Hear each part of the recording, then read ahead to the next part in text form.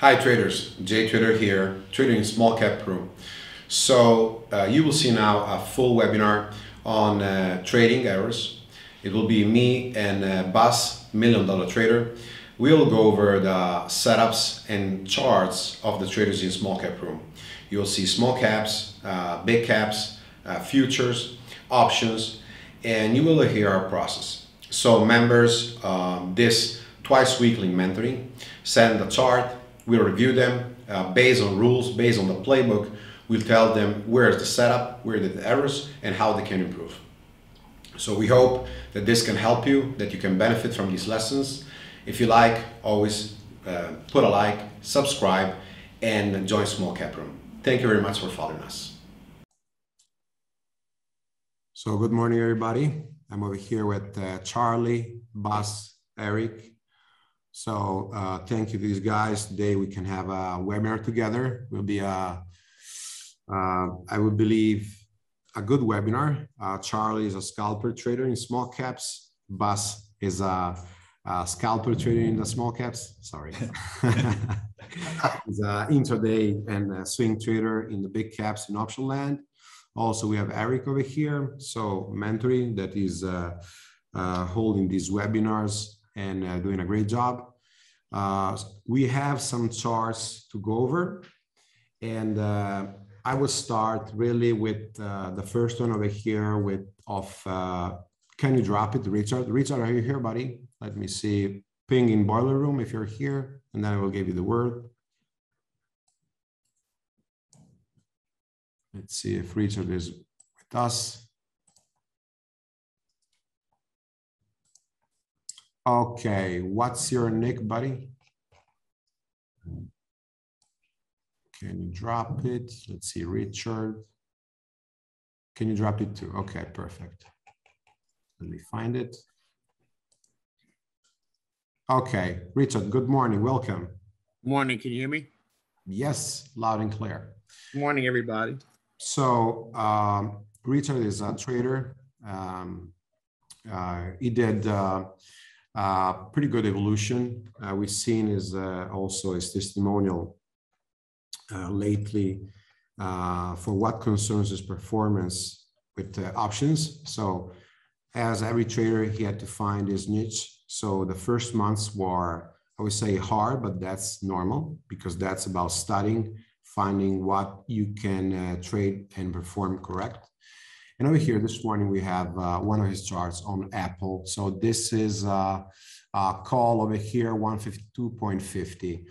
So explain me first of all, um, Richard, what was your plan that morning and uh, uh, the reason why you took the trade? Uh, this was the under over. Mm-hmm. Um, I just didn't get it on the first candle, so I I, I waited, mm-hmm. and um, I think I took 20 contracts on this one. Yeah. Okay, so you took the, uh, the entry uh, over here, right? Yep, right there. Mm-hmm. Okay. So yep, and then I then I sold uh, 10 right away. The explosion at 850, 0.50. And we're talking about the chart over here on the one minute, exactly this uh, level over here. I mean, uh, 935, this level over here, right? Yep. Okay. So yeah, we were we were approaching it on book reversal to the upside uh, with volume. Over here, we have the 10 minute chart. So we're talking about this, uh, um, this bar over here. And also we had a good trend line break. So uh, continue to explain, please. Um, yeah, so I, I, saw it coming back up on uh, Bookmap. I'm sorry, I don't have the beginning of the Bookmap for that. Mm-hmm. Um, it's, it's cut off. It's showing the second and third trade on that one. Um, but I saw it curling back up. Uh, again, I was watching the the 10 second candles, which makes it just so uh, perfectly clear. And uh, and I took it. Um, it, it, it was kind of a tad early, I would say, um, but it was right on the nine EMA on the option chart um, as as we started pulling up into the open level. And uh, I always try to grab it as we go up and through it, um, even if it's a tad early. Okay, uh, so you bought over here uh, uh, 15 over here, is it uh, correct? Or long 20, sorry, long 20. I long 20 there, yeah. Okay. And then I sold 10 at that first red line and the and the next candle there. Okay, okay. So that was my get out that FX2R. fast?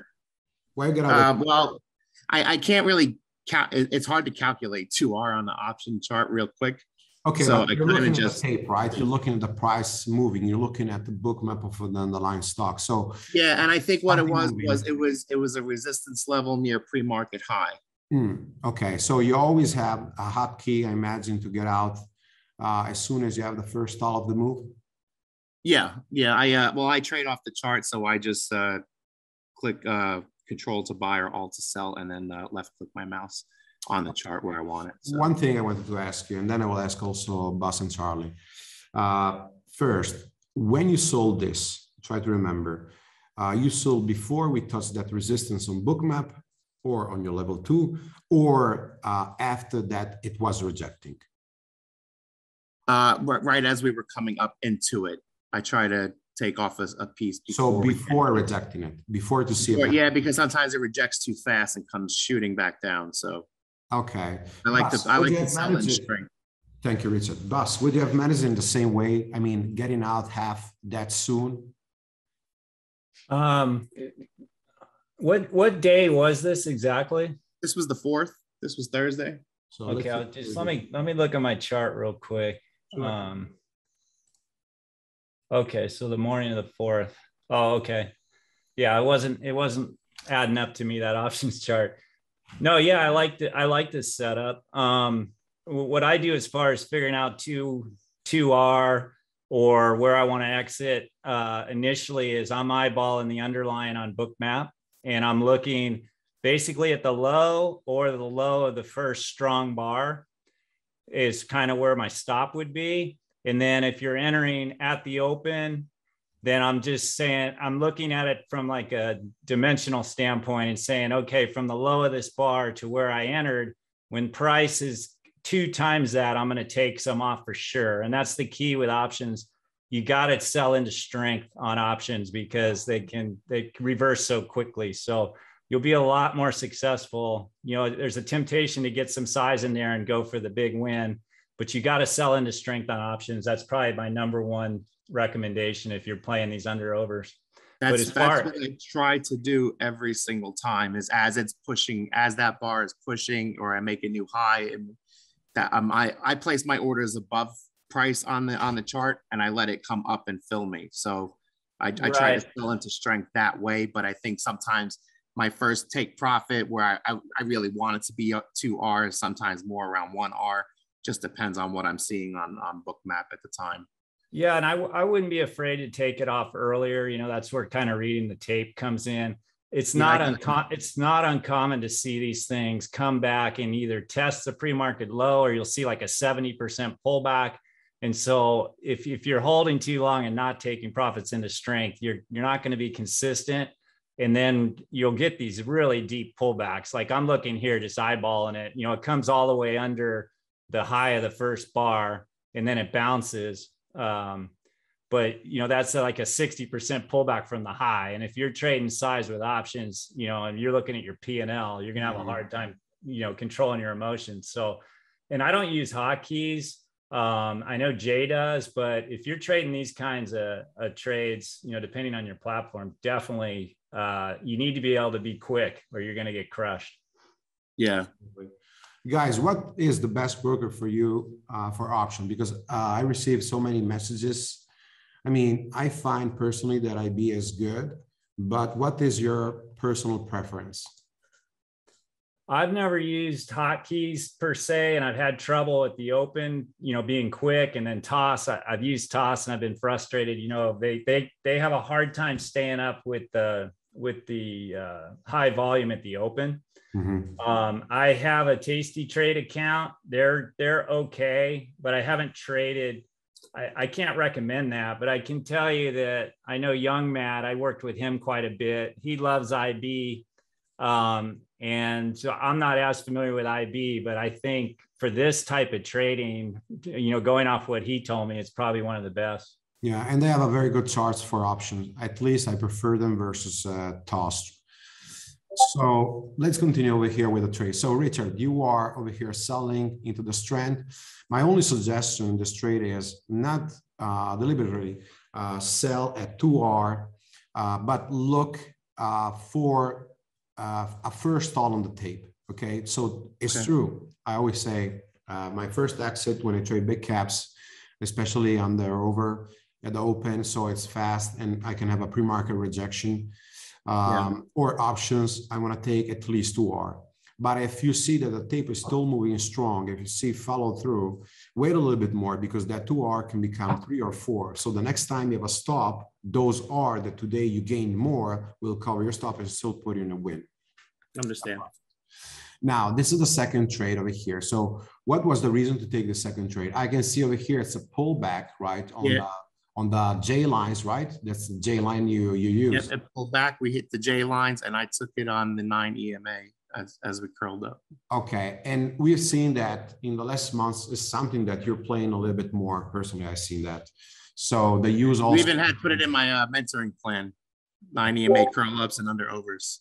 Exactly, because we passed to uh, trade from trading, I believe, only uh, the overs and the curls, also to incorporating uh, with these strong, these strong moves, also the use of the nine EMA, correct?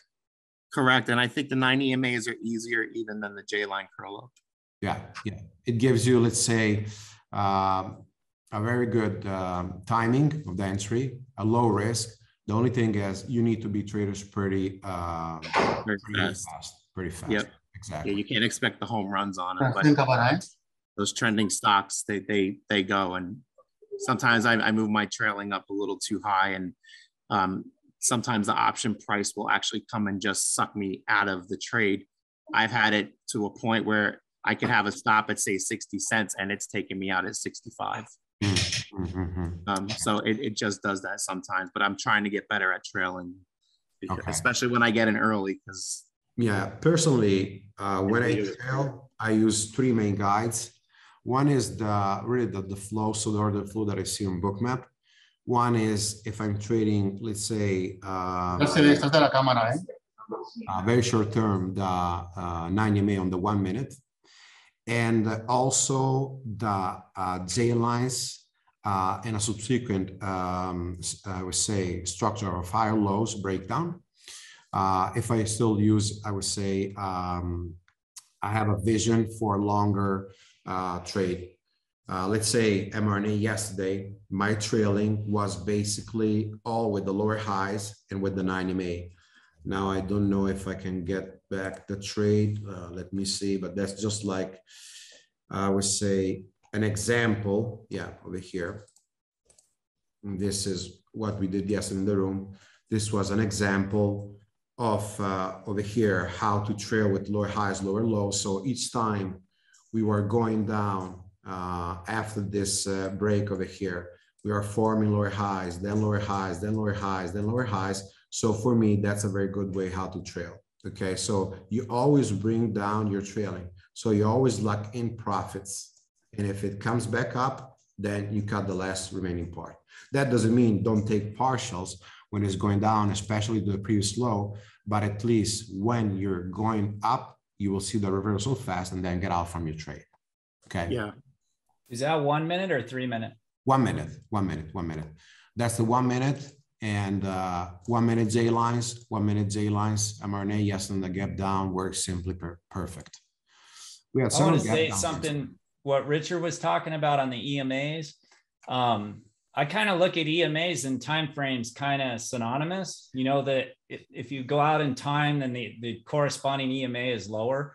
Mhm. But one of the best trades is if you have a good catalyst and you have a strong stock, and I like to look at the daily, make sure I've got some sort of a daily setup. This is where kind of the swing trading helps me because I know what the swing setups are, what I'm looking for on a swing setup. So that's kind of my differentiator on picking stocks because when the market's strong, you're going to have tons of stocks that are set up on the under over. But if I have a really good daily setup where I'm sitting on an EMA and I like the daily, that's kind of my discriminator. But once I get in there, like the under over is really tough. If you're having trouble with the under over, I would look for a stock that has a catalyst that comes out of the chute really strong, and then look for that first uh, flag, like something two, three bars into the nine EMA or the 21, and then it will take the next leg up. Now, eventually, that stock later uh, will pull back to like the J lines on the one minute. But a lot of times, these st- strong stocks, if you don't catch the perfect under over, you can catch that first flag against the nine or the 21 on a one minute chart.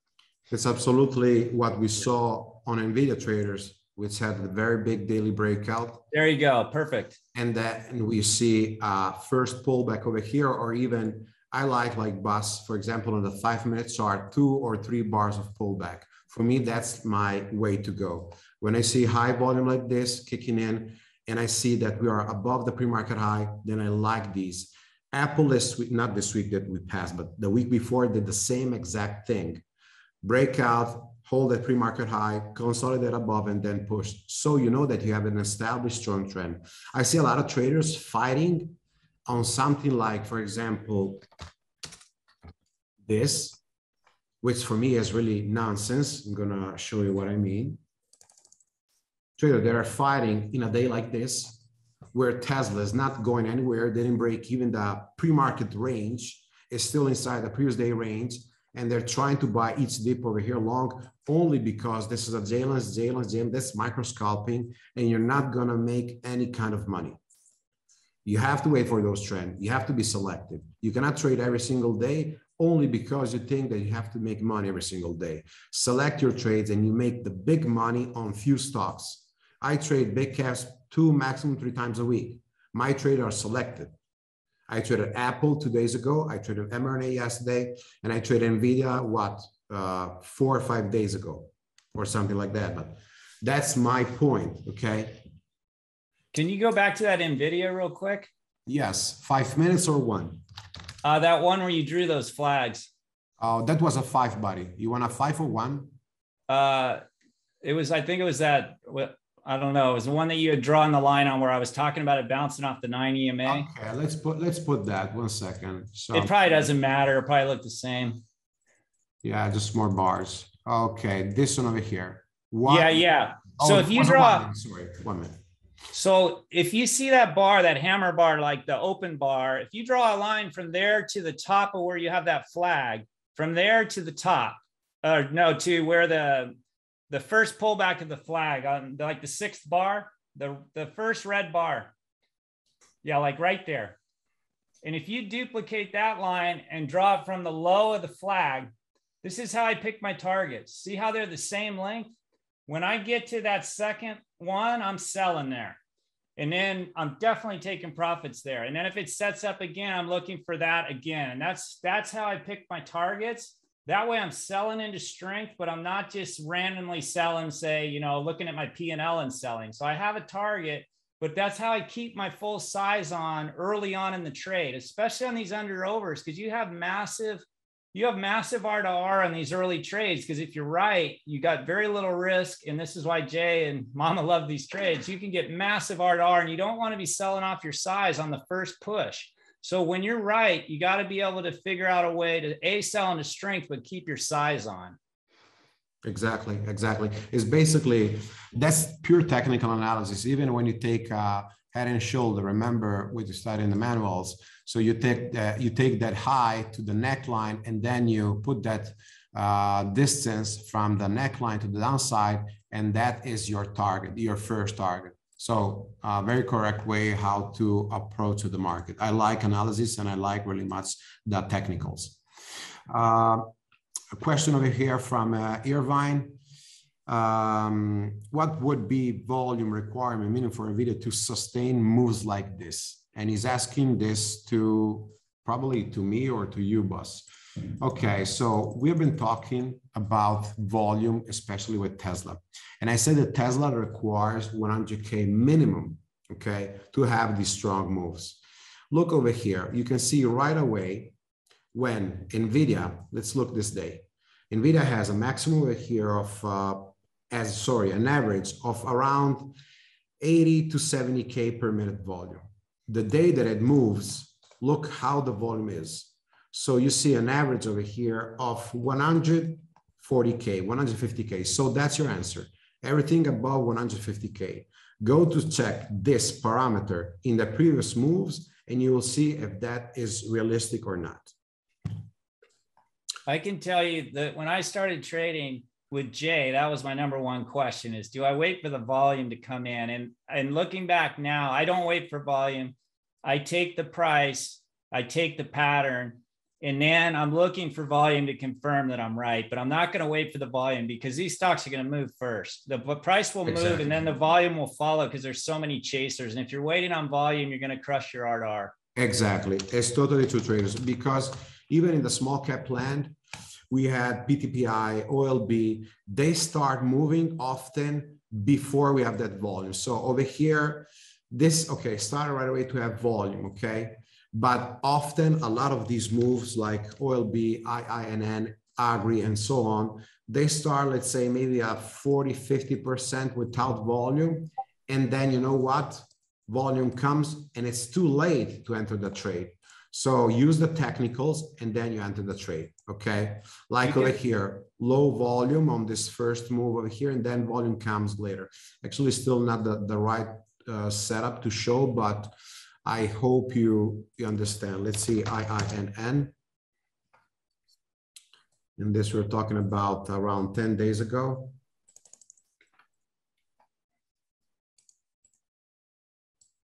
Yeah, this day over here, you see what I mean? The first part of the move has very low volume over here. And then only when we're really uptrending from here, you start to see the explosion of volume. But the long consolidation where I want to enter is up here. Okay. So you see a maximum of 300K, 400K per volume. Only after the breakout, you start seeing 1 million plus. So this is a big consolidation, round cup pattern, just at the J lines. I like to enter over here. When the nine EMA reclaims the VWAP, curl up with the J lines, and then you take the first. You can always recycle and re-add to the J lines, but you have to enter in this section over here. If you enter with the mass up here, it's too late. At least you have to wait for a pullback. You cannot simply enter over here because your fill will be bad. And don't follow those gurus. They will tell you, oh, over 750, buy and we'll look for eight. Over 850, buy. Okay. How many times they tell you that? And then boom, all the way down. So be smarter.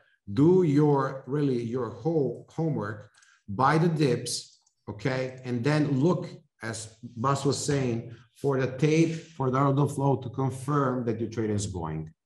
the, the things I look for before volume is you want the volume drying up.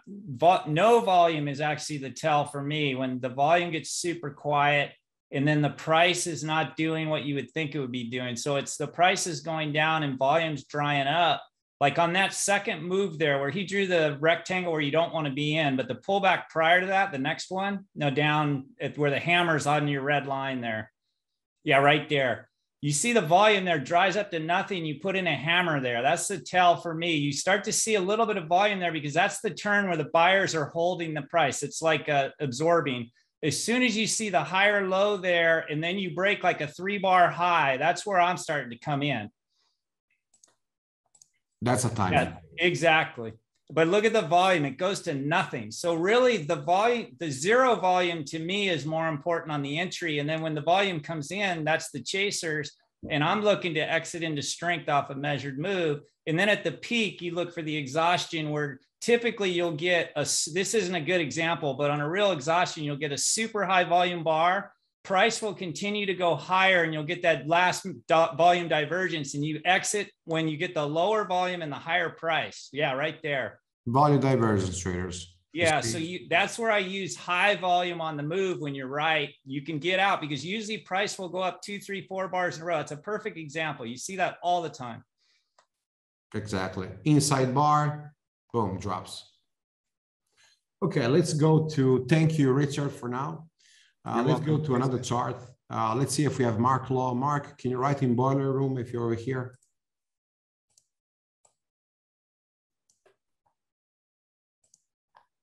Okay, so what's your nick, buddy? Mark Law, got it. Okay, I will also give the word over here to Charlie. Hey, how are you? Good morning, Mark. Uh, thank you, buddy. So glad to have you here. Charlie, you're here with us, bud? Can you hear me, guys? Okay, yeah. Okay, yes, we can hear you. So this is uh, food for Charlie. As we said, Charlie is a scalper trader, uh, intraday trader on small caps. Over here, we have Mark Law. So Mark, uh, first, please explain a little bit about your trade. Uh, first of all, what was this uh, stock? PTPI. Um, this was the PTPI, I think on the third. Okay, so let's yeah. one second on the third. I want to see what was the environment. So PTPI on the third. Okay, so this day over here, basically we had a stock that, yeah, what we were watching before also, a stock that around 938, 940 broke the pre-market high and was always above the pre-market high. So a huge amount of volume over here. Okay. Tell yeah. me why you chose this stock to short exactly over here and what was your intention? Um, I've been really liking stocks that have extended a lot because I think, you know, they give me the best range in regards to making money. Where if I were to short something in the beginning of the market open, it's harder to tell whether volume will come in all of a sudden or not. Mm-hmm. Where compared to after watching a huge extension like PTPI and watching buyer's exhaustion occur and then seeing a huge uh, fall like that first one and then that sec- second one I, I like getting in on the fact that you know buyers are tired of trying to get into it and getting trapped and so i take i like to take the backside of this okay i can see over here a very good management no trades right and why you short over here what was your risk um this one uh, the reason why i decided to share this one was because i wasn't really happy with this trade um, i'm under the pdt and so i'm limited in regards to recycling shares uh, and so I was partialing in regards to that first short, uh, mm-hmm. hoping that, that J lines would work. But I was also expecting it to break just in case. So that's why I only did one fourth size on that. I'm a position trader, so I'm not really, uh, I don't really think like a scalper. So uh, correct me if I do something wrong. But I was looking for that either the J lines or looking for that previous relative high, which the one you marked in. This one, okay. 340. Um, and so when it couldn't reach that, I shorted it twice around that area. And at that point, um, my risk level is around 340, but uh, it was a bit loose for my liking. Mm-hmm. And then when they went down and bounced with smaller volume, I thought this was the end of it. I didn't think it would be prolonged much, so I shorted it the last time for full size. Mm-hmm. And you know, it decided to move up again. I think, and then this time it broke off with a little bit higher volume than the relative volume mm-hmm. to the left of that. And so I was a little bit scared on that, but it tried to do a cup to and tried to break the 340, but with smaller volume. And so I, I was seeing weakness still. But at that point already, you know, it broke my risk level.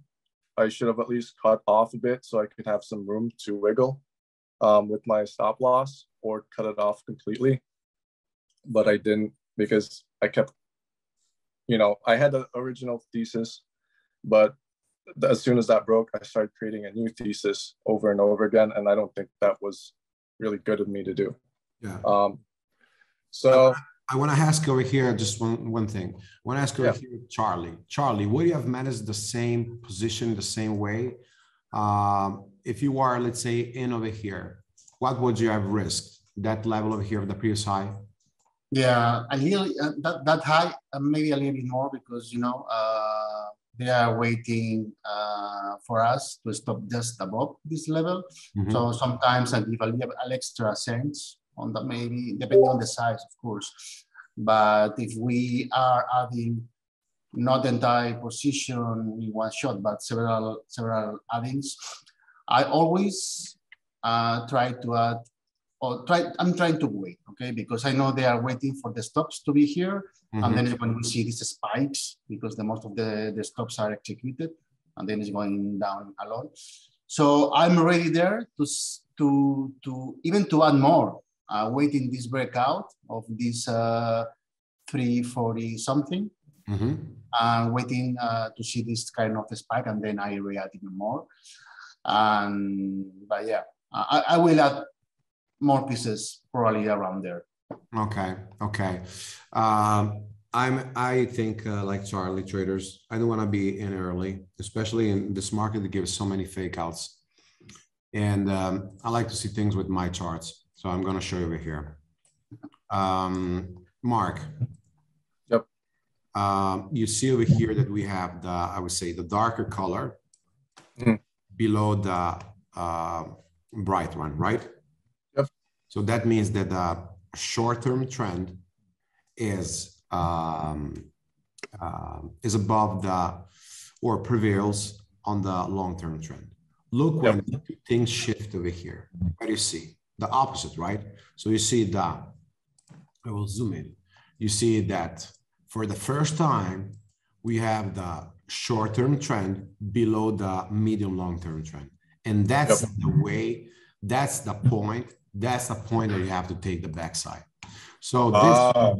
okay, so you can see a first part of our chart where the J lines until here, they show you that this is the front side of the move. Right. And it's not bad. You didn't enter into the front side, which is very good. You did you waited over here. You didn't enter. Yeah. You enter on the second phase, which is the consolidation, or in this case, distribution lateral phase.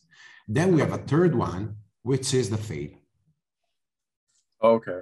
Okay. Okay. So that is, and we can see that the high volume over here and then the low volume, and we cannot really base ourselves on this mm-hmm. because if we have an accumulation and this will push, the volume will reclaim as well. So Yeah. let's wait more for these kind of technicals like this. On a five minute chart, you'll see then even more confirmation because as I always tell you, when the bright one is above the dark one, you don't short, buddy.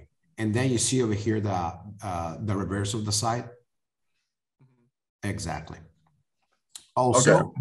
also what we can see over here, uh, they were trapping midday, both long and shorts. And how I know that they are trapping? Because they use basically VWAP as your trap. Uh, Charlie before was saying that, okay? Charlie was saying about this. So he's waiting for that reaction. He's not trading this mid. This is a mid range. He's trading more if in the mid range you have a stuff and then he's shorting over here. So you want to see one side trapped, but over here they're trapping both sides, right, Charlie? Yep. Yeah. Yeah. So it's hard for me over there to take a direction. I wouldn't know what to do. You, Charlie? No, this is the theoretical. Sometimes I have a little FOMO, but yeah, you are totally right. Exactly. Okay. Jay, what are those two uh, EMAs that you said you like to cross over? What are those? Uh, so on a one minute chart, the 72 and 89, so J lines, uh, which, uh, like Eric saying in the room, uh, which on a five minute chart, they become the 14 and 17. Okay, okay, I got you. Okay, traders. Uh, Mark, anything else that you want uh, an explanation for? Yeah. Um. Real quick too. In regards to volume or book map, how do you balance which one to put more weight on in regards to Book- finding the backside? Bookmap Because like volume besides the volume diversion that Bas is saying is not really uh, showing me any possible picture. Okay, uh, with Bookmap I can see instead what I have already. Let's say I'm uh, I'm long. What I have already over here is resistance. So I have an edge. It's not that I can see the future, but I see already who is waiting me there for the ambush. okay. Okay. Cool. All right. So I would like to go over the chart of Bas and then the chart of uh, Charlie. Uh, let me see if I can find the chart of Bas. Bas was this one over here. It was just uh, lucid on Friday. Okay. What about this stock has been crazy. This stock is really has been crazy. So huge amount of uh, uh, range and uh, tells us a little bit more about over here. I saw that you marked some spots with the volume. Mhm. Yeah, so I, I haven't really traded this stock. You know, I know it's a SPAC and I know it's hyped on Wall Street bets, and I know Tesla's at all time highs, and I know they have a nice EV. And so I kind of put all this stuff in the back of my head. I like to know what I'm trading. So I, I know they're making, they're getting started, ready to make real cars. Supposedly their battery goes farther than Tesla. And so there's a lot of hype, a lot of range, liquidity. You know, these are all things that I'm thinking about before I even consider a stock. And then I look at the market and I go, okay, the market's strong here. We had a bunch of distribution. People thought the market was going to break down, then it reclaimed, and then it's been ripping. So I go, okay, we're in a bullish market. I got a stock here that's liquid and it's in a sector I like. And so uh, Friday, I wasn't even planning on trading this stock. And, you know, it's best to have a plan and stick with your plan. But sometimes if I see a, a trade, I'll take it. And so I was watching this stock, and you see in the morning it goes down, which is this is what I call the short trap reversal. And I, I traded this with Alex. Alex knows this because Alex and I traded like several months together, and we nailed this sucker uh, on every stock. You know, we have like a little algorithm that helps us. But anyway, so it trades underneath, you know, down, and then what happens is you see it come up on. I don't. This is a one minute chart here. The cyan or the light blue is the 7289 on a one minute chart the red band is a three minute 7289. And then the little purple dashes is the 200 on the one. And then the gold band is the five minute. So if you look at the open there, it, it opens weak and then it puts in a higher low. And then it reclaims the one minute, the one minute right there, and it goes sideways. And where you see those first white squares of volume where I have the oval circled, that's the entry for the what I call the short trap reversal. Well, I missed that. And so I put it in the room. I was like, oh crap, I missed Lucid. But I would have entered there as soon as it crossed over that the yellow dash line. That yellow dash line is the 200 on the five. And so I know, yeah, right there. That's the entry. That's a, I love this setup in a bullish market, but you got to make sure a the stock's above the 200 on the five, and you got to make sure the market's strong. And so we had those, and I said, oh crap, I missed it. So then I see, look at the volume there. I mean, that's telling you this thing's got some power. And so you're you're trying to assess, hey, does this stock, is there more left in the tank if I miss the trade? I'm not going to chase it. I used to chase these things. Jay knows, he used to look at my charts. And then when it if it was a weak market, these things will fail. So you got to put all that together so that you make sure you have the edge. So once I see those white squares on there is a study that Carl Fred gave me, and I'm glad to share it. But basically, what that's looking at is looking at the volume increasing by 30% over the prior bars. So those white squares are telling me volume's increasing. You can obviously see it at the bottom. So I, I don't chase it and I go, okay, I want to take this trade somewhere. Where am I going to take it? So I put in the room, hey, one minute bouncer coming and the red line's VWAP. So you got the one minute and you got VWAP right there. So right there, I'm calling this thing's going to bounce. So I look at the super liquid. I think the 40s were trading. It's a Friday. So I love Fridays because you can put on some massive size for cheap. The 40s were trading at like 67 cents. So I put them on there, taking them off. The gray area is zombie time you want to call it. That's middle of the day. But here you got volume and the market's moving. So I'm not afraid to trade in there if you got the volume. But look, it kind of peters out. And so coming into the afternoon, it comes down into the three minute J lines. And then right there, that's what I call food truck time. This is 10 15 my time.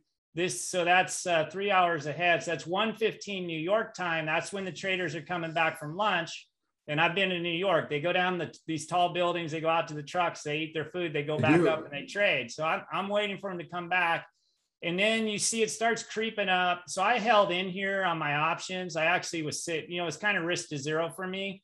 And so I see these higher lows coming in, and then it moves up to the prior high. You see how it fails right at the at the high from the zombie time. And then I see in higher lows coming in here, and I'm hanging in there and then this thing just rips and then i end up making like 160% on those options. But you know for me that's a risk to zero. But the only reason i'm hanging in there is the volume i'm seeing the relative strength all of that stuff together. I go this thing feels like it's going to have more in the tank. Um, but those levels you'll see on the first so you have the short trap reversal setup. That's why i like to show this one this one is so powerful that it doesn't even really flag and bounce off of the 9 EMA. And then it comes in to the one and bounces. And then you'll see this a lot. You're not going to get a three minute or five minute bouncer until the afternoon on a strong stock. if you have something bouncing on the three minute in the morning, it's probably not that strong because the strongest stocks are riding the nine and the 21, and then they bounce on the one. So I like the three minute or five minute holds, or maybe a trap underneath and a reclaim, and then look for the market strength in the afternoon. And then I'll play off of those levels. So I, my primary trades when I'm day trading, I still use all of Jay's setups. I like the short trap reversal, which is shown here. I like the J line curl up. I like the under over or the first flag off of the nine EMA. And then I love these three minute bouncers in the afternoon, but on stocks that have relative volume. So I'm looking for like one and a half to two times its normal volume by that point in the day and have a real catalyst that I understand. And um, I, those are the types of day trades that I take mostly. It's it's it's these measured move curl ups off of J lines, the one or three, depending on the time of day. And then I love this short trap reversal setup on a good stock in a good market. Yeah, the same thing, traders. You can see it over here, just related, for example, to a small cap. So it's the same exact thing that Bas is showing you. Um, we have a, a morning open, right away they pop. And over here, what happens? They trap so many long traders. Okay. So the bull trade over here trapped. Over here, probably this is even a TED pump. Okay. And they're going down. Generally, when they go down and they will consolidate for a long time, will be around a, for small caps, five minute J line. And then you start seeing this nonsense over here. Then you start seeing the price a little bit more clear. So you start seeing really a tighter, um, I would say over here, remember the flag, micro flag, and over here, a small cup, and you start to wait for the breakout. You don't actually need often to buy over here in the breakout. You can even wait the dip and then to buy when this thing is rising already with volume. And over here, you have really the big hands absorbing all the seller that we have. And the majority of sellers are the poor traders, retailers that they bought in the morning. And what happened? They're selling below the open level, which is this level over here. The big ends are absorbing, so they're making money. And when they push it, these that stop they come in over here and over here and they will be stopped again.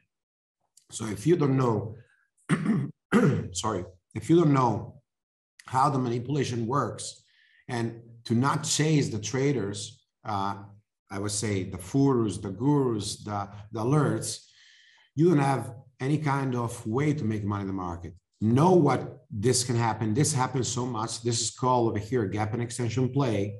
You will have a pop in field open often and then this long accumulation always happens when you have this micro float, when you have ideally high institutional ownership, and they're trying to make over here sellers jump in, creating fake breakdowns. You see over here the fake breakdowns, but instead, what they're doing, they're buying on purpose after those fake breakdowns. So there's it's also like the reactive trading that Charlie was saying before. And then they break and they trap again. Look day after, over here, they have an offering, boom.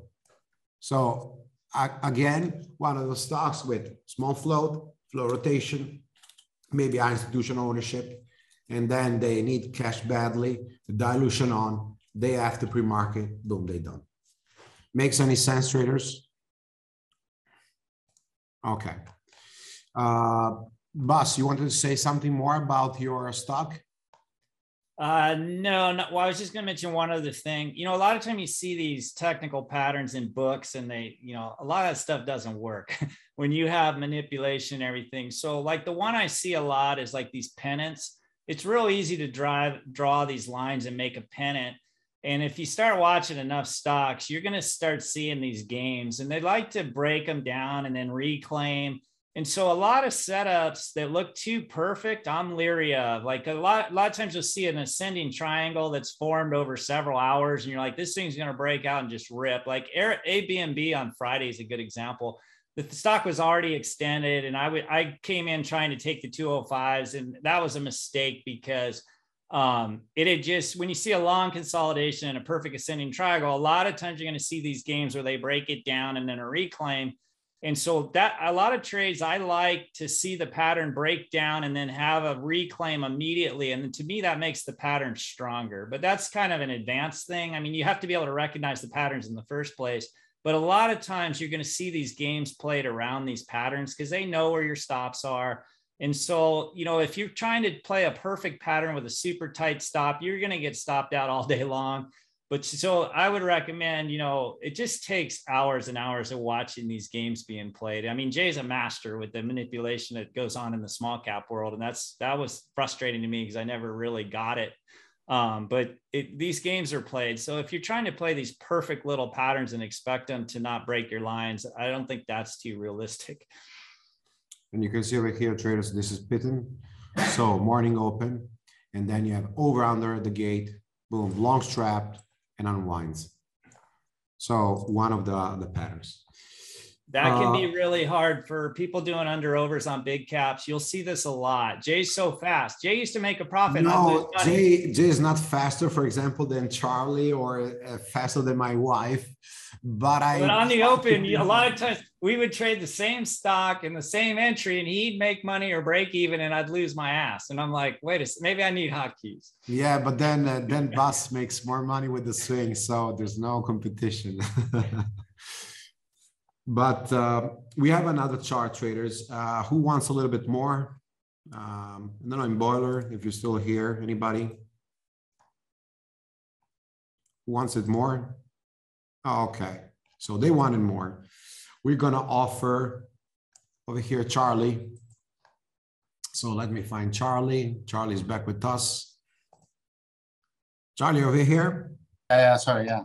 Okay, so you send me this chart over here. right? Yeah. And uh, this one over here. Uh, which one do you want to start from? Uh, okay, that one. Okay. So what, what is not what stock is this? What is this? this is a Christmas tree. So explain us what is a Christmas tree. no, I don't even remember which stock was this one. But the, the first thing that I'm trying to get is uh, the areas, right? The, uh, I can tell you what this is. This is a three dollar. This is uh, what did the day? stock that we trade ACDI. Uh, let me check. Uh, uh, yeah, exactly. HCDI. I remember just the confirmation, the conformation of this spike yeah. over here that right away from the three. Okay, explain what happened, buddy. Yeah. So the first things that I like is to find the area. What do you typically what we use, right? Is as soon we see a gap, we are trying to gosh, gosh, is in English? But anyway, we try to find the area uh, where to start to show, right? Here, I was, um, I like to do the same as Bas that thing about the uh, to draw the line and then copy the line for the next level. I don't mm-hmm. know if uh, I like to do as well that thing because many, many, many times uh, works. I probably is, involved, Fibonacci is involved from these type of things. So here what I, was, what I was playing is exactly this top, the previous top, the previous high. I was thinking even that my level, I have a level of, I, I remember was 310, 3, 310 mm-hmm. was my level of entry because of the historical volume. But I was trying, you know, as a pre-market, um, because probably, uh, you know, uh, just a small try, I was trying the previous high, you know. So then I start the first, these uh, pink arrows, I was trying here. I know my my risk, my, my risk was the previous high. So based on this risk, I can put my size. So easy, no need to think too much. And then as, I start, um, as soon as I start to see uh, pushing volume and then uh, going to the previous high, I stop out. So then, yeah, those those lines is was my next level, my next, next level of entry.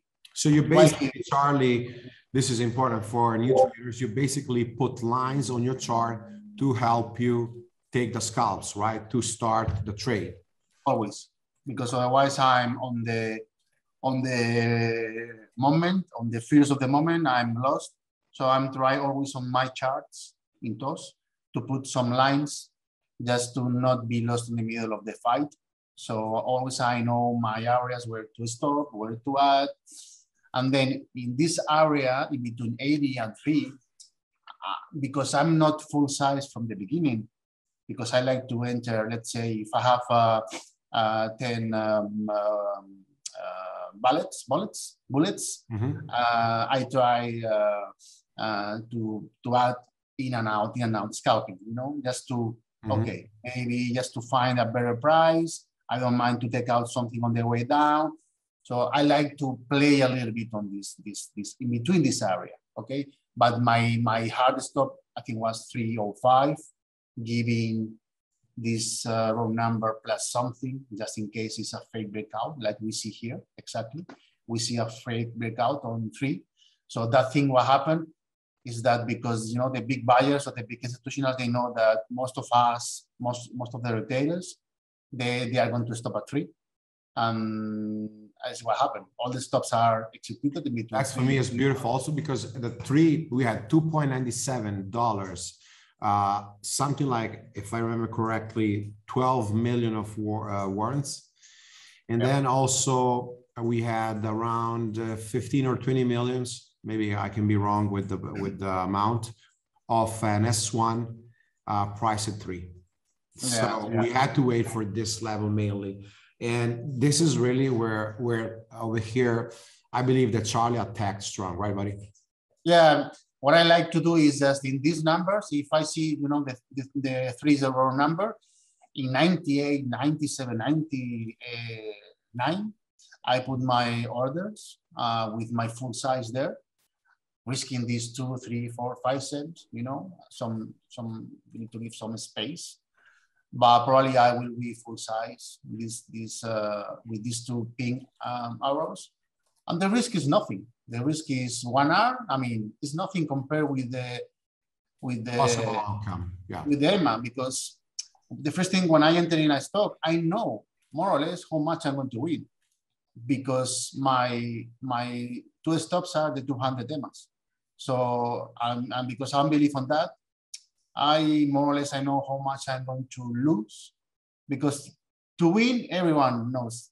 If you think on the win side, eh, everyone is happy, but you need to control your, your risk on the on the lose on the lose one. So in this area, I was scalping in and out, in and out, in and out, always uh, having in mind these three, three or five, three ten, you know. And then as soon as I start to see the fail, well, was uh, okay, uh, the trade is done.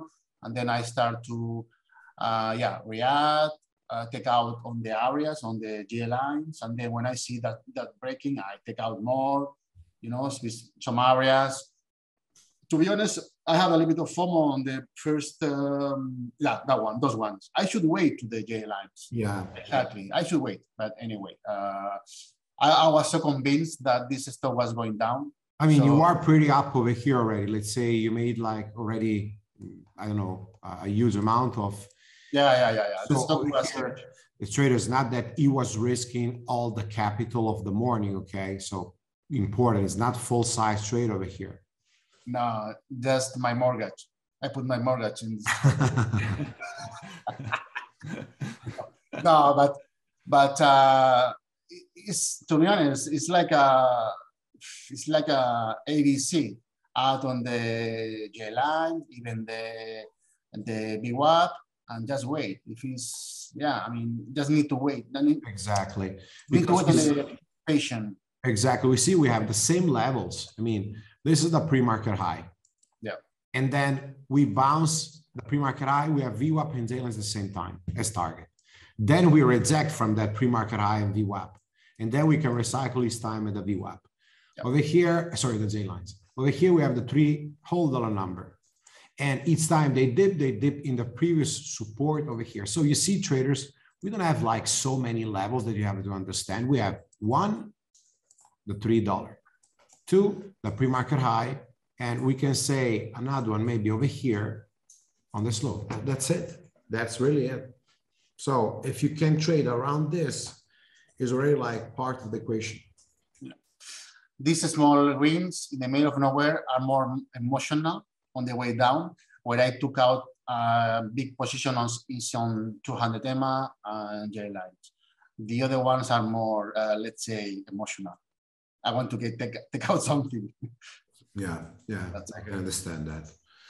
Uh, let's see. You also send a second chart. Correct me if I'm wrong.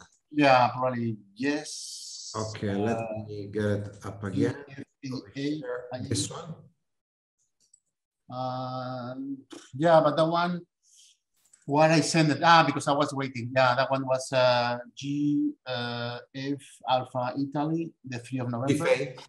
Yeah, that one more or less the same. I I think uh, we're waiting for the push. Uh, I saw some uh, historical levels or volume levels around this area. And the risk is there. It's 10 cents. If we start to enter at 320, our level is 330. Mhm. So just wait, just wait. And this is Yeah. one minute, but probably in five minutes, uh, probably he went to the five minutes. And yeah, I for I didn't uh, react on the push to big web uh, almost at the end. Yeah, here because, because I was thinking to push more, uh, so I didn't add, but I added later. This is uh, let's say FOMO, but okay, conviction that this stock was going to be Yeah. down. Nice So- trade. No fight on the front side, taking a backside. Perfect trade. Yeah. Okay. Thank you, Charlie. In the meantime, over here, still be with us. We have uh, other, uh, some other chart from Bas. Uh, so MTR over here. So seems another uptrending stock. So you can see that uh, Bas loves to short. Never figured that out. I, Well, yeah, this is- everybody has its uh, niche. So uh, Charlie, I never saw him longing, maybe a couple of times in one year. Uh, and instead, Bas, he doesn't like shorting. So uh, doesn't doesn't really matter where you make money, traders. You, you can even do only, for example, extensions or whatever faders, as long as you make money. That's the important thing. Yeah, and I, I would say that, you know, I, I just like I've always liked investing in companies I understand. So that's why I'm on the long side. But you know, with swing, especially, you gotta you gotta know the when the market's good. That's a key piece. You know, 80% of the stocks will follow. So that's the daily, right? Uh, daily over here. So this is a that stock. I know this stock well. It's a metaverse play, and it was the old SPAC that was GHVI. You probably remember that. Yes. But uh, I I loaded up a big position because I love the fundamentals. So I have an investment in this company, but I trade on top of it, and I've made a ton of money with options on this chart, and and I, I love it. But especially now because it's in the news. But this is Friday, and you know you can tell I'm super technical. But what I draw those boxes, so I, I take the move from the morning. You get the move. Now, if you look close there, you get the bounce on the 9 EMA. So you can actually take that first flag, not where I have the line drawn. Yeah, the, yeah, there's like that trade I wouldn't really take, but the first pullback there, right there, you can take that off of the white line, which is that's the 21 EMA on the one minute chart. So I'll take that. And so if you're having trouble with unders overs, I would I would maybe look at that setup there. And what I'm trying to show you here is so you get this first move. And the reason I like measured moves is it shows you what the stock can do on that day. And if it can do it once, it probably can do it twice. So it's already telling you what kind of power is behind the stock. And then what it does is it goes sideways. And they actually had what I thought was bad earnings. And I expected this. I sold a bunch of my investment because I didn't like the earnings. But this is the lesson here is price. Uh, forget about fundamentals because I mean, I know you use fundamentals in small caps and I use fundamentals for investing, but price is king. Technicals are king. This stock was telling me I wanted higher and I sold some of my investment. I said, I'm going to day trade this thing because price is telling me it's going higher.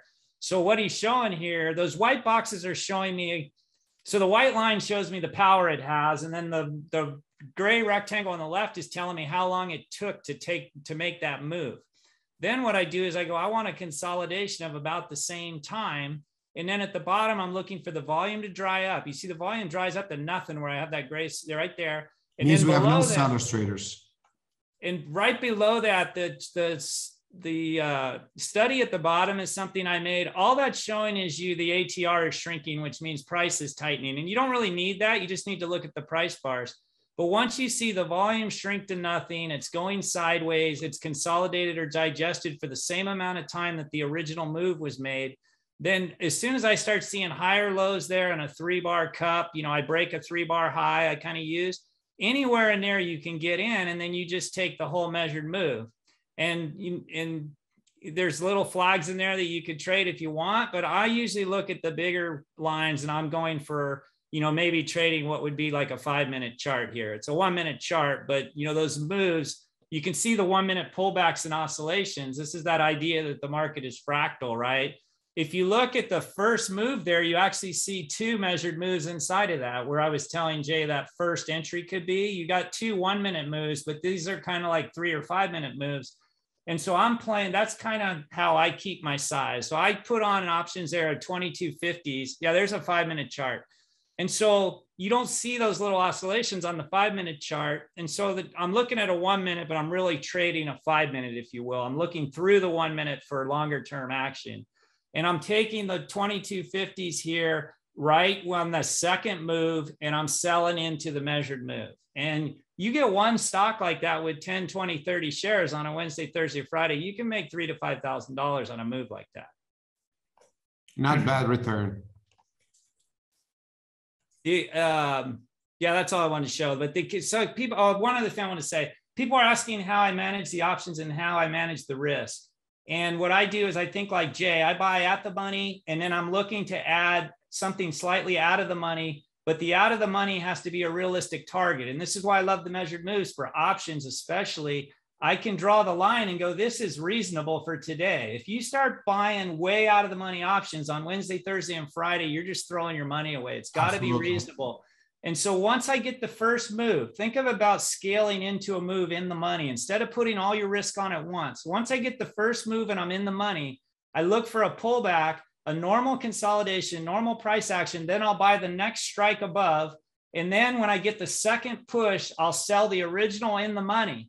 Now I'm sitting on a big profit. I've taken risk off. And because when you buy the out of the monies on the pullback, they're cheap because they're out of the money then you get, if you know anything about uh, deltas and or Greeks, you get the gamma kicking in as you approach 2250 here, and you're you're you're increasing your profits exponentially as you push through 2250 on a Friday. So that's kind of how I manage it. So I'm I'm rolling them up. I think Smash trades this way too. You're rolling up the strikes, locking in the profit, and then at some point it becomes risk to zero and you can't lose.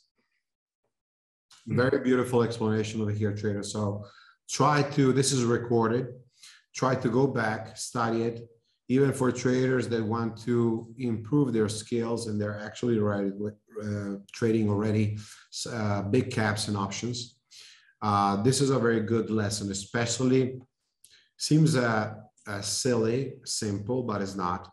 So wait for that move and then buy options when you have that pullback in that after happened the strong move. So initiates over here the strong move. Try to buy them over here. Don't buy options on strength because you know what will happen when the stock will have the pullback, then the option will have more depreciation over here. Okay, so option, especially near the expiration, will lose so much in time decay over here. Instead, yes. buy it on the pullback, and then when the stock goes up, your option will really fly what you have to understand is like on an underlying, uh, say like NVIDIA or one of these liquid big caps, a one to 3% move on a stock like that, a daily option or weekly option is going to have like, you're going to have 30, 40% pullbacks. If you're staring at your P&L, it's going to mess with your head too much. So you have to have a system to trade the chart and with the charts broken, then you exit. But if you're staring at your P&L, but as you watch more and more options, you're going to see these swings on these options can be crazy. They can be 60% down and then close up 150%, right? So you can't look at the options and the price of the options. I would stick with trading the pattern when the pattern's broken and then trade around a core position of, you know, maybe you can afford one. Uh, It's nice if you can afford more than one option so that you can scale and scale out. But when if you can get an option that's you know you can trade something that you can get three to five shares or three to six i like the multiples of three because i like to trade in thirds. But it, it, it, makes it a lot easier when you can scale in and scale out with option if you can like in the early days of tesla before it split i think some of the one contract was like $70 you know, it was like crazy to trade Tesla. So look for maybe a liquid stock like Lucid that's trading at 40 bucks and you can buy something at the money for 60 or 80 cents, as opposed to like I was looking at Upstart yesterday. you know, at 330, I think the the weekly options were like $22. And I don't even want to take that kind of risk. You know, for one contract, you're putting up, you know, 2000 bucks or something. Thousand bucks, yeah. Absolutely not. All right, we have uh, traders. Uh, some questions for Bas and Charlie, please, right over here. So let's start with uh, the question we already have. Um, again, I think Charlie already answered. Uh, Techman, Bas, how do you find potential stocks each day? I think that uh, he was talking about, uh, he has a scanner, if I'm, if I remember correctly, and he's looking for stocks that uh, are uh, having a big move. So they started to make a big move or they have a potential for big moves. Is it true, uh, Bas? Like yeah, my other webinar, I kind of went through that, but exactly. I just used TOS exactly. and basically the easiest way to find strong stocks, there's two things I look for. I look for, I learned this from Chris Kullamägi. I look for stocks with an average daily range of 4% or more. So it's like small caps. I want something with range. You know, I don't want to trade something that's moving 2% if there's tons of stocks set up moving 4%, right? If you have the same pattern and you got a stock that moves 5% on the day and a stock that moves two, I'm going to take the one with five. So I scan, I look for stocks with 4% average daily range a day minimum. And then I have parameters in my scanner that are looking for momentum stocks. And it's real easy to do. All you got to do is have stacked EMAs. And so the ones to use are the nine, the 21, and J lines. Say, I want the nine above the 21 above the J lines on a daily. And that's going to give you stocks that move, that have high momentum, that are market leaders. And those are the ones I focus on. Exactly. So Techman is asking, uh, this, I believe, for Charlie. Can you give a look at OLB? Uh, yes, buddy, just one second. I want to take also my trade on OLB if I remember where I posted. Just one second. Uh, OLB, OLB, OLB. We had, uh, um, was it this? No, wasn't this. Wasn't this, wasn't this, wasn't this. Okay, I think was uh, this one over here. Boom. All right, so uh, is asking, uh, but here I will read uh, the question.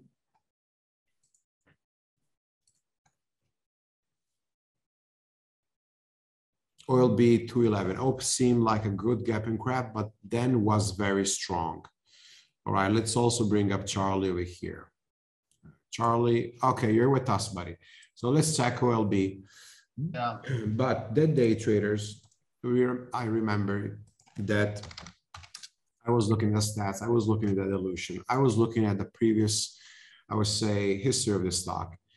And this stock had uh, one big day, right? But the volume traded was very small over here. We had a volume around 20 million. Right now, the market is trading two, 300 million volume days and this was OLB. Uh, let's put a, a one minute chart. Let's put a one minute chart. Let's put back five days. We traded this this week. I took like, I remember the day, I even recorded the day. I took uh, 15 shots, uh, 11 were longs, uh, two were shorts, and the other two were uh, stops. So I had 13 wins, each day trading this all day trading this long. The reason why is remember what Bas was talking about before about the morning pop, fail, and reverse. Okay, so that's your bear trap, uh, bull trap. Sorry, that's your bull trap. Bull trap in the sense that first they trap bulls over here, but then they uh, trap bears over here. I remember that Carfit traded this perfect at that short and he had a very good win and then trilled everything over here before the reclaim of the, the VWAP. Charlie, did you trade this the day?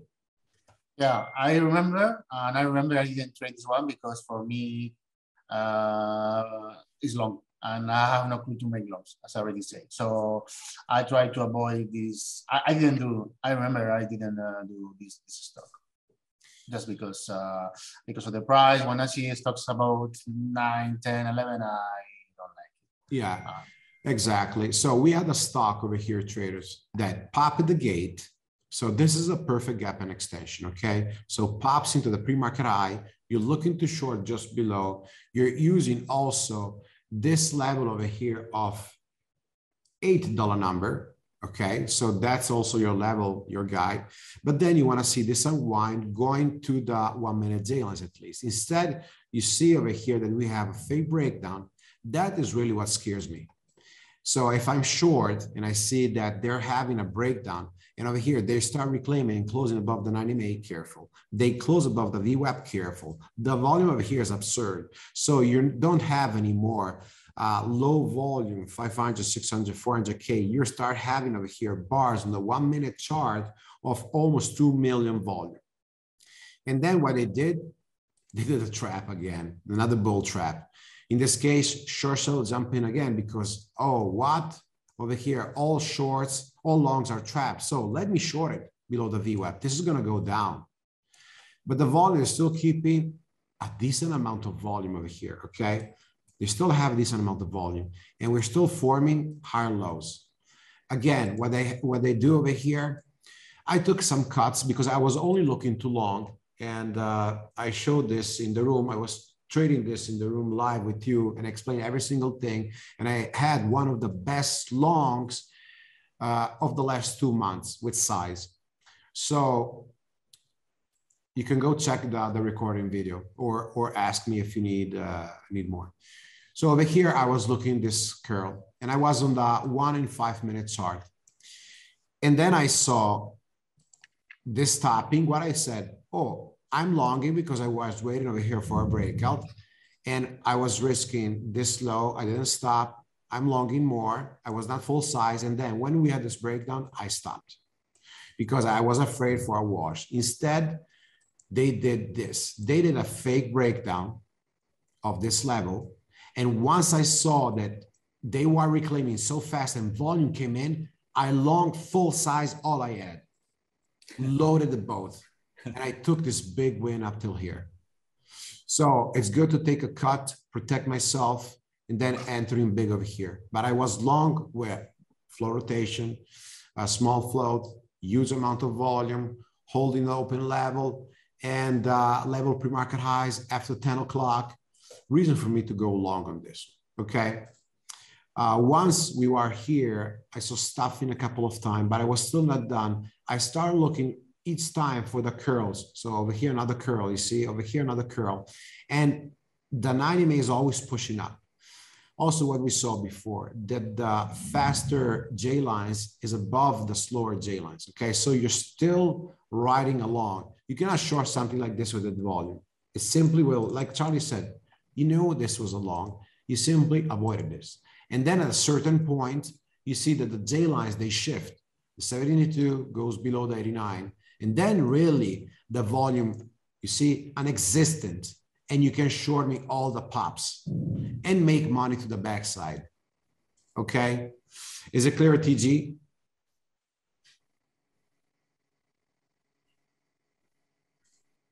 Exactly.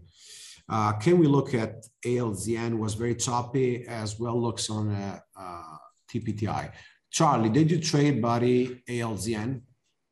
I don't even remember where I had breakfast, but uh, was yesterday, buddy. yeah, why? uh, uh, uh, no idea. I don't remember. But I have uh, some levels, but I did. I think I didn't. I didn't do that one. Okay, no. so I can talk over here about ALZN. So the first thing I do each morning, I'm gonna bring it up, traders I go right away to see my edge. Edge is ready for now, for now. Okay, it's already four months. I'm saying so. For four months, you're having this free. So uh, Chris Sari is uh, uh, finalizing this, and is the best app out there. So we're trying to make the best possible app around. So I start looking at the statement. Wise up. So they had a form four. We go to see over here. They acquire 100k over here um, 100,000, sorry, of uh, shares. And who acquired them? The director. Okay. Then you go check the stats. So we have a 50 million float. So we don't have a market, a small uh, float. 50 million is pretty good for a small cap. We have also 6% institutional ownership, which is pretty low. We have no SSR. I go to check the financials and I want to see do they need cash badly or is it pretty good? They have 50 million cash. They're, they're having uh, negative net income uh, and they're burning uh, 400K per month. So basically, they're going to have cash at least for 20 plus months. I go to history, I go to gap stats. We only had one gap, which is this one over here that it faded. So I don't really have a reliability, um, reliable, sorry, amount of stats that tell me I have to short this. Then I go to check with dilution tracker. I put over here uh, ALZN, and it doesn't have anything that I would need to uh, know. So what happens over here in the morning when I push, when they push, it's 9:30, right? They right away extend, and there's no setup for me to short with this huge amount of volume. Yesterday I was calling that 350 because at 350 we had a daily resistance, uh, and also we don't need any kind of uh, we don't know about dilution. I didn't go check, but I can tell you that the company doesn't need immediate cash. So two main things tell me already not to short. Also, we don't have a very huge amount of bag holders in this one. So what I will look is only to trade these longs, or if this goes crazy bar parabolic, sorry, to take it short. One thing you have to check over here, how is the volume? Massive. Faders will have volume three, four, 500, 600K per minute. You cannot short something that has 1 million volume per minute also, this is the mid-morning trap that we always see. What they do, they fail the VWAP on purpose. They go to the J-line. So that's the reason why small cap room traders are in advantage versus the normal traders because we're not looking at the VWAP. We're looking at the J lines. And if you are with me over here, you'll buy the J lines. You'll buy that curl over here, this, and don't care about the VWAP. You use the VWAP only to know where what other traders are looking at but you're ahead of the game. You're longing where they're stopping. And why you're longing? Because you have a lot of volume over here. And then where you sell into your heat map resistance, because this 320 yesterday was a huge heat map resistance. Uh, my system tells me to not go short on this until it goes crazy parabolic or has a big 350 stop. Never had it. So for me, no trade. I was simply waiting yesterday to trade something like this. And then over here in the afternoon, what they did, they trapped more short sellers because they made them seem this was going to fail. And this is a five minute J lines. That's the first main target. So if you trade it with our fail, you see over here, we have the, seven, the 72 below the 89. And over here, the 72 is above the 89. So the bright is above the dark. And over here, the bright is below the dark. So the trend changes. So you can take the short and you're still a winner, but then becomes lateral like this. So when I have no high forecast for short, I'm not really looking to trade this short. Okay. Is it clear, buddy? Uh, Jack is asking over here, and none of it. Uh, none of it. Use bookmap to decide for your exit. I personally use bookmap to decide my exit uh, but also use parameters together like nine EMA trailing and uh, uh, if I'm shorting a set of lower highs. Uh, guys, Bas, uh, Charlie, what do you use to get out? Me? You know me. I'm Mr. Measured Move. okay, you already explained that. And you, Charlie? 200 EMA is like a um, golden rule for me, one minute some percentage of my size. And then I'm waiting for the 200 EMA, uh, five minutes. And sometimes I give a smaller portion for the 15 minutes 200 EMA. But I must say that the 200 EMA on the five for me is like 90% all out. Okay. Because many, many times it's pushing from there. So we have solid stats trader that the five minute Zealands at 200 on the five is the main target. Yeah. Jack over here is asking, Jay, when you talk about loading the boat, how much percent of size of your account? Basically, I trade multiple accounts, so I try to load them all. Uh, another question, uh, Jay, can you talk about how not to anticipate J line rejection? Okay, I explain it this way. Uh, we're going to the station, and I already uh, wrote this uh, somewhere. You're uh, at the station, train station, and the train has arrived in about five minutes. And you know that when the train arrives, you have to jump in. Okay, you have two minutes to jump in, so it's pretty fast. But if you stay in front of the train uh, before you arrive, so you stand there, you will be run over. Instead, you wait, he stops, and then you get in. It's the same thing with the J lines. If you take the, tra- the, the train before the train stop, the, the train will simply kill you. You don't know if the train will stop there or that's another train that is going to another destination. So you have to wait that the train stops. Train stops, you get in. Train doesn't stop, you don't get in. Dot. Uh, general, uh, when managing position size risk, do you base on total capital in all your broker account combined or base only the account you're trading with? I let Bas uh, answering this. yeah, for for me, it's you know I'm trading all kinds of stuff, and I have multiple accounts like Jay. I have a really big investment slash position trade account. Then I have like a medium size account for swing and I have a day trade account, and sometimes I'll swing some options in that too. So it kind of crosses over. What what I try to do, and I know it's different than you know the way Jay trades and a lot of people in the room. Everyone's got to find what works for them, but you know you need some sort of risk management. What I try to do is you know start small, work into some winners, get make sure the market's working for me, make sure my recent trades are working for me and then when i get in the money big then i really lever up and i i take some take on some big risks when i'm already have a lot of profits. So let's say i'm up 40 50 grand on an investment type stock and it sets up technically in the short term then i'm going to come in with heavy options like you know three five ten thousand uh, shares or you know 100 contracts on top of where i'm already in the money and then if I see day trade setups, I'll add more weekly options on top of that. So I have really short dated options on top of kind of weekly or two weeks out options on stocks that I'm already up on. And so it's all risk management because if I lose, it's money that I've already made. So I'm risking profits. That's where I'm taking big size. I'm not coming in with massive size trying to make $100,000 when I haven't made any money. So a, you got to know what kind of trader you are. B, I think Jay will tell you you need to separate your accounts from a psychological standpoint. Don't mix your swing and your investment, all those accounts. And I didn't do that at first, and I learned the hard way. And when you enter trades, you have to know is this a day trade? Is it a swing trade? Is it an investment? I talk to a lot of guys that kind of on the side like to talk about investments with me. And you have to know in your mind what it is. You don't want to turn a day trade into an investment. You don't want to be trapped. And so I have basically an investment account where I know companies really well. And then I like to trade on top of those names because I figure the more edges you can line up, the better. But all of that combined is kind of uh, I like to I like to get to the point where I'm in the money, I can't lose, and then lever up and risk some of those profits aggressively. That's kind of the way I trade. So it's portfolio risk management. It's understanding which types of trades you're taking and separating accounts and then on options, I mentioned this in the room. I have a hundred thousand dollar account that I use for options and day trading.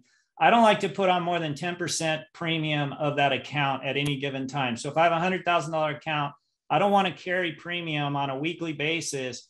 I'll usually spread up to $10,000 of the 100,000 across two to four names. Some of them are going to be losers. Some of them are going to be big winners. And I'm just trying to make headway every week, but I'm not going to put on a hundred thousand, you know, 25% across the board in four names and risk a hundred thousand on weekly options. You're going to blow yourself up. So the point is you got to try to get to where you're, you're aggressive when the market's right and you're making money.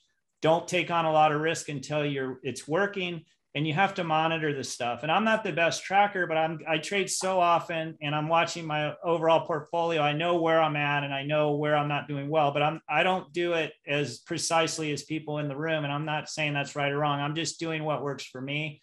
And so that that's how I control risk across different types of investment, different types of accounts. But I'm keeping in mind how much risk. And a lot of times I'm if I find a better setup, I'm selling something else that hasn't broken down. I'm not like Chris Kullamägi will keep adding stocks and he'll get 20, 30, 40 stocks going at once when the market's hot. I'm sometimes selling something that I feel like is not as good. And then what happens, sometimes you're wrong and that stock rips and that kind of happens, but that's risk management. I just get over it and say, hey, that's protecting my portfolio. Yeah, that's a pretty good explanation. Charlie, you want to add something? No, I'm hungry. okay. I know Charlie. I know him very good. So traders, uh, first of all, uh, this is recorded let me tell you, thank you, uh, Charlie, Bas, Eric, for today, for being here. Uh, we're building a good team. If you like the team, remain with us, help us building it, and uh, take your lifetime uh, license in the room. Reach out if you need help, and have a blessed weekend. Thank you very much, everybody. Thank you, Bas, Charlie, and Eric. Thank you again, guys. Thanks, Jay. Take care, guys. Okay. See you, Charlie.